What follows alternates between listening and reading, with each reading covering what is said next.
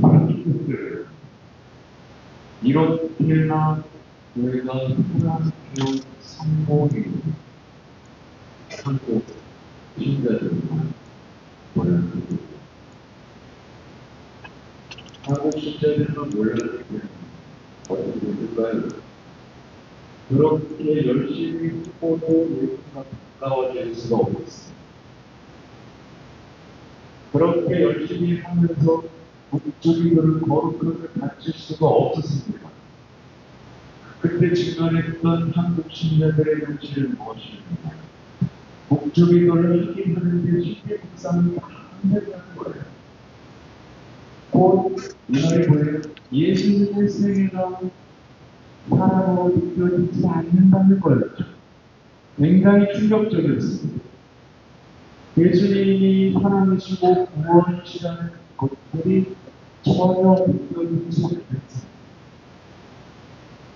그리고 다시 한번 교회를 보는데 교회는 망가질 대로 망가졌습니다.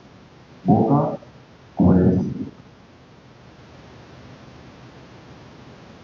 사람들은 오해 정도는 안 하고 있어요. 안 하고 있어요. 오해 공사를 어떻게 해야 되는지 모르겠어요. 굉장히 충격적이었죠. 병원인도 몰라. 목주기도도 어떻게 해야 될지 몰라. 고해상사도 어떻게 해야 될지 몰라.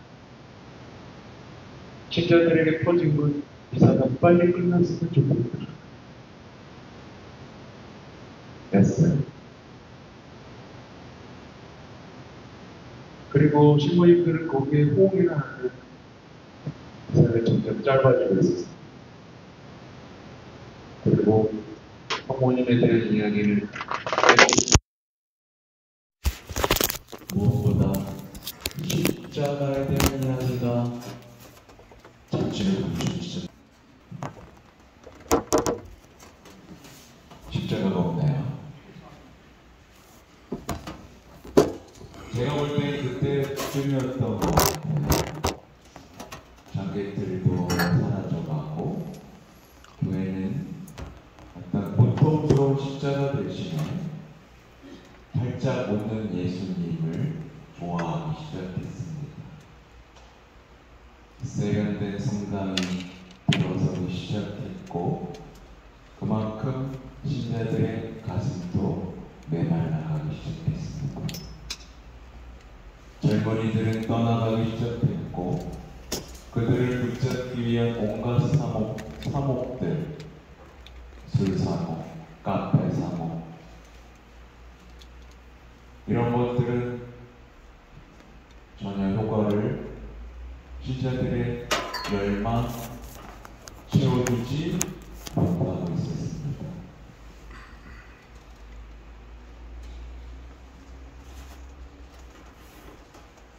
저는 힘을 내야 됐습니다. 힘을 내야 됐습니다. 어, 그러나 힘을 내면서도 저는 지쳐가고 있었습니다. 왜냐하면 아무리 호소해도 변화되지 않는 신자들의 모습을 계속 마주해야 하기 때문입니다. 완고하게 고집부리며 내가 뭘 그렇게 잘못했냐, 나 이렇게 열심히 했다 라고만 고집하는 신자들과 마주해야 되기 때문입니다. 묵주기도 학교를 그렇게 오랫동안 해도 자기가 해왔던 대로만 하겠다는 성모신심에 대해서 그렇게 설명을 해도 책 한 번 열어보지 않으면 신자들과 아, 마주했기 때문이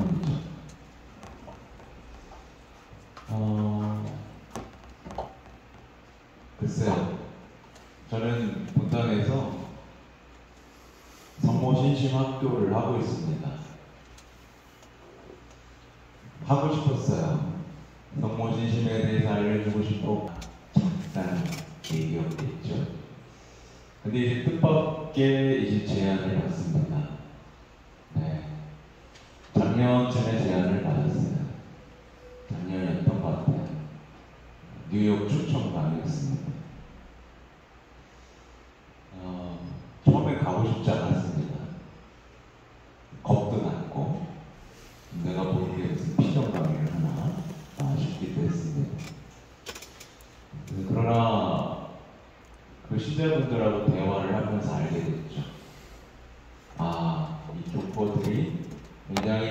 영적으로 어려움을 겪고 있구나. 네, 라는 걸 알게 됐어요. 그래서, 네, 가겠습니다. 라는 결정을 했습니다. 근데 이제 뜻밖의 또 하나의 제안이 네, 들어왔어요. 메주보리의 지도신으로 봐줄 수 있겠느냐? 라는 거였습니다. 네. 그때 당시 제가 메주보리에 그렇게 긍정적이지 않았습니다. 왜냐면 저는 조심해야 됐고, 신앙을 지켜야 됐고, 자칫 교회를 갈라가는 모든 것들로부터 신자들을 지켜내야 되기 때문에 철저히 도덕권의 가르침 안에 있어야 되기 때문입니다. 그래서 잘 좀 생각해 보겠다라고 했어요. 근데 거기서 미끼를 던지더군요. 지금 그럼 파티 마음부터 가죠. 그래서 저는 그래요? 그래요? 수락을 하게 됐습니다.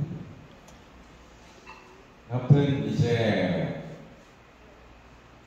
뉴욕에서의 에, 피정 강의 여정 중에 성원일에 대한 얘기를 많이 준비했습니다. 에, 근데 그 모든 준비는 모두 뭐에 관한 것이었냐? 교독과 교황님의 가르침에 근거한 거였습니다.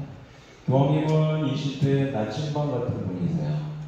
우리가 뭘 이뤘는지 아시고 그래서 뭐 어떤 것에 집중해야 되는지를 모두 알려주고 계셨습니다.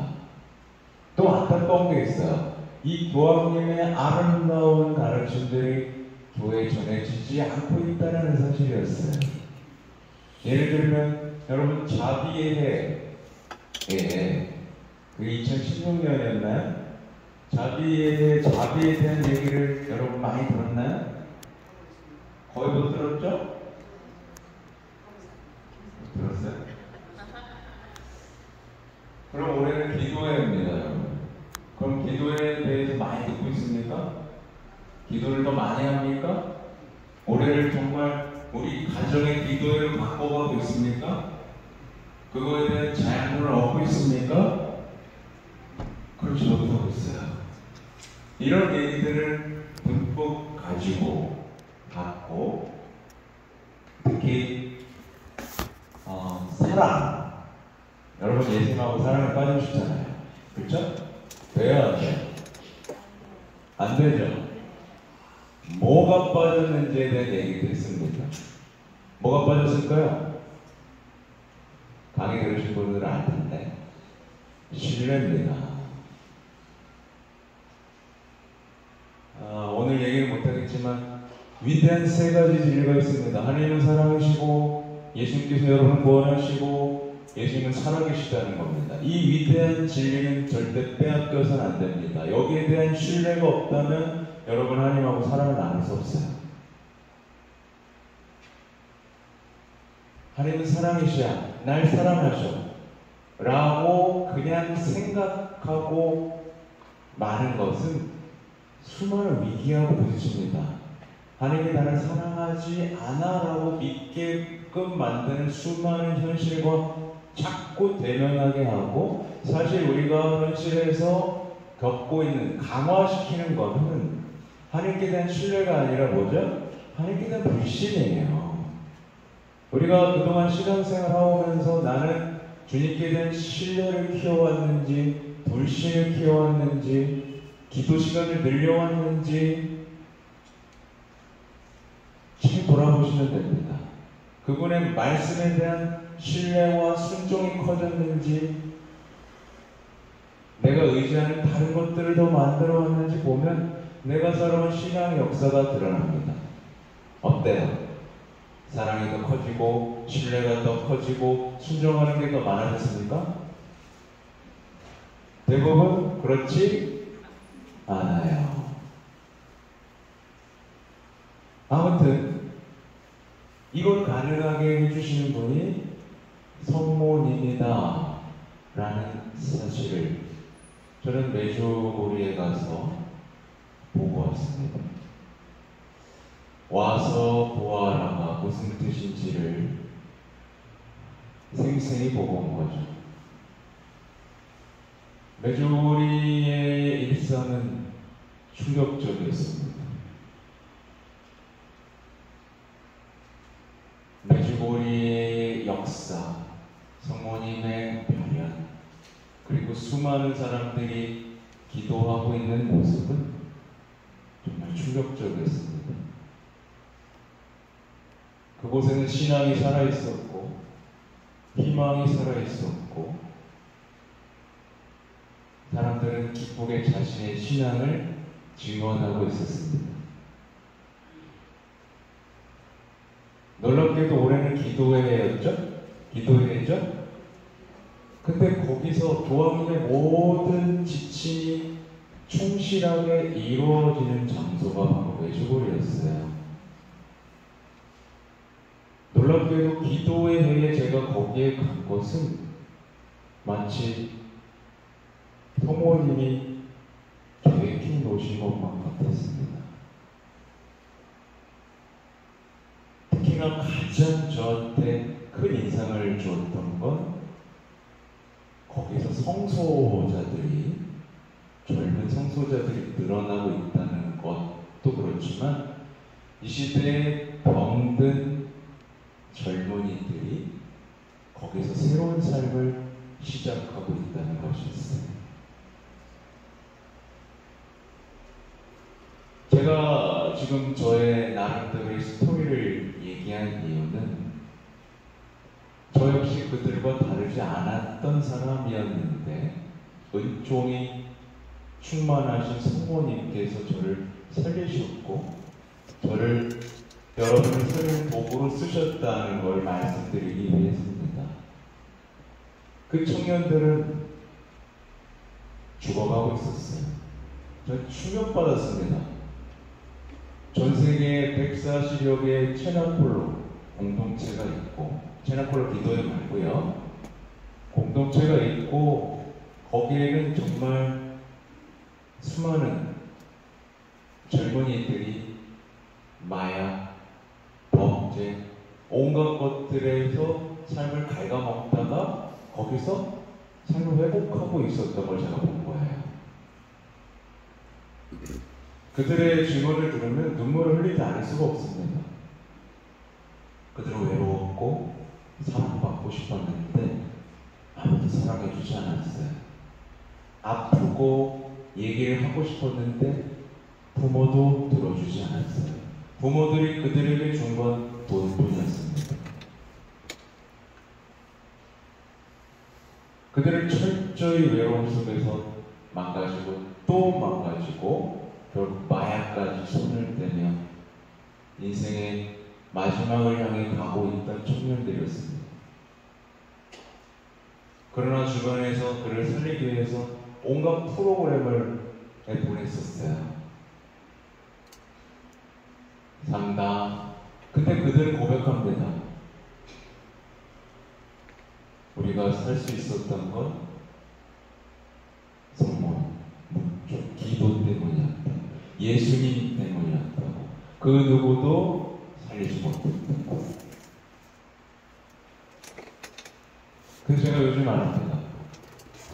사랑 때문에 나는 병은 사랑으로만 고칠 수 있다. 여러분, 병 났죠? 사랑 때문에 병 났죠? 아무도 사랑 안 해줘서. 아무도 사랑해주지 않아서 사랑해줄 줄 알고 결혼했는데 원수가 되고 그토록 사랑을 뽑아줬던 자녀들을 나에게 사랑을 더 이상 주지 않고 그토록 나에게 사랑 주지 않았던 부모들은 이제 와서 사랑을 달라고 하고 성당에 오면 사랑해 줄 줄 알았는데 웬걸 열심히 하면 더 미움받고 우리는 그렇게 사랑 때문에 병이 나 있었던 겁니다. 근데 이걸 누가 고쳐줄 수 있죠? 예수님밖에 고쳐줄 수가 없는 거예요. 사랑으로 남자면 사랑으로밖에 고칠 수 없는 거죠. 이 젊은이들은 공동체에서 기도하기 시작합니다. 근데 쉬웠을까요? 기도가 세상에서 제일 싫었다고 합니다. 기도가 세상에서 가장 싫었던 이들이 공동체의 힘을 통해 기도할 용기를 얻고 다시 기도합니다. 그리고 예수님 때문에 새로운 삶을 시작한 이들의 이야기를 계속해서 듣습니다. 그리고 메주거리의 본당에서 매일 저녁 3시간씩 하는 전례에 그 아름다운 기도의 시간에 참여하면서 마음이 열리게 됩니다. 아주 단순하고 솔직한 기도를 할 수 있게 됩니다. 예수님, 고맙습니다. 예수님, 사랑합니다. 화려하지 않았지만 그런 단순한 기도가 그들의 삶에 생기를 주기 시작합니다. 예수님의 탄생이, 예수님의 부활이, 예수님의 세례가, 예수님의 십자가가 그들을 위로하고 삶을 회복시키기 시작합니다.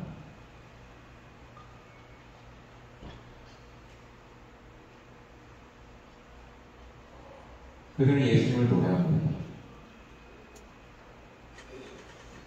메주고리에를 고향이라고 느낍니다. 엄마의 땅, 엄마의 품이라고 느낍니다.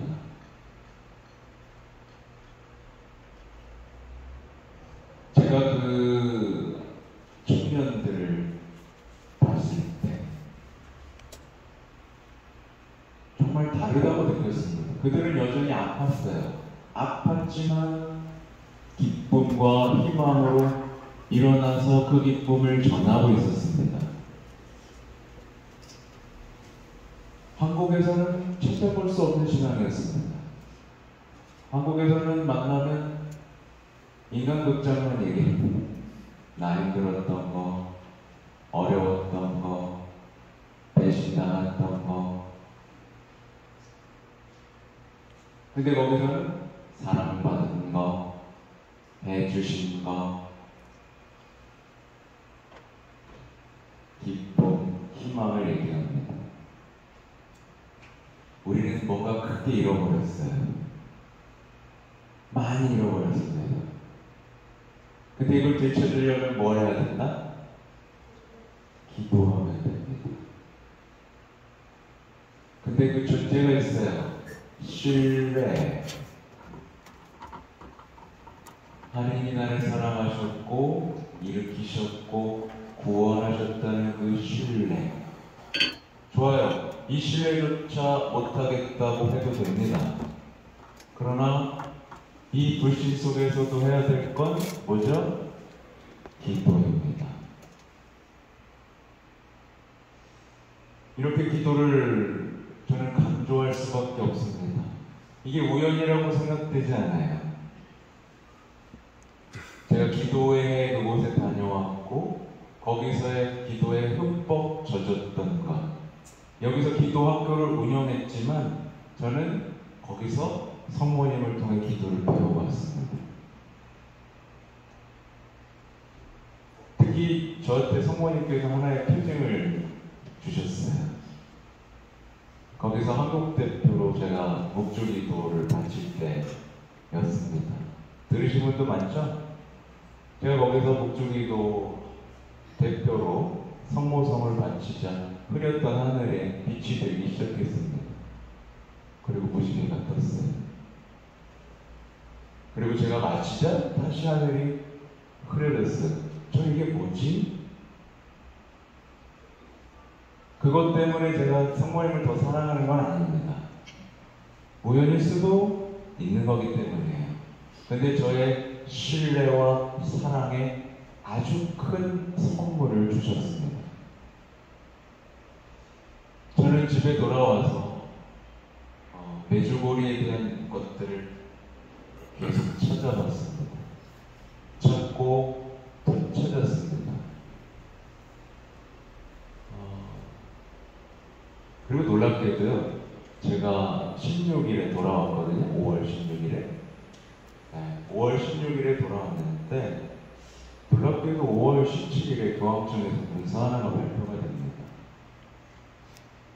소모임 발현에 대한 문서예요. 어, 그와 관련된 이제 성직자분들은 이런 얘기도 해요. 이 문서 덕분에 메주고리 예와 관련된 문제는 조금 더 쉬워질 것이다. 왜냐하면 굉장히 특별한 현상이거든요. 왜냐하면 메시지가 아직도 계속되고 있죠? 그리고 개인으로 발현하고 있죠? 근데 이게 인정되기 전부터 열매들이 쏟아져 나오고 있죠? 이런 부분에 대해서 교황청은 이 영적 유익을 나누고 싶었던 것 같습니다. 제가 결론을 내리는 건 아니에요. 전 그 정도 인물은 아닙니다. 다만 거기 있는 이 순시관, 교황청 순시관의 대주교님의 말씀을 참고하고 또 거기 교황청 대사 그리고 거기 있는 청년들을 향해 메시지 주신 교황님의 메시지를 참고하고 공부했을 때 제가 여러분에게 전해드릴 수 있는 이야기인 거예요. 어, 여전히